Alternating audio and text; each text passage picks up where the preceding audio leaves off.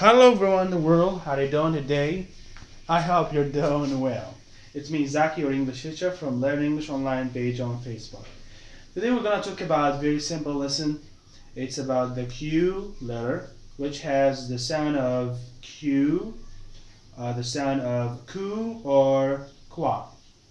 So both actually are the same, but it depends on the vowels that comes after come after the uh, the words or in the words. So Q always follows U and has ku or qua pronunciation. So remember the Q always follows U. So for example, we can start with ku, like quit, liquid, queen, quick. These are short, you know, they're not too long. Okay? And qua, like quiet, squat, quack. Okay, again.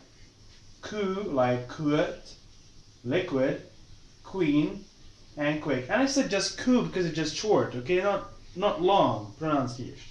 But I say qua because quiet and squat and quack.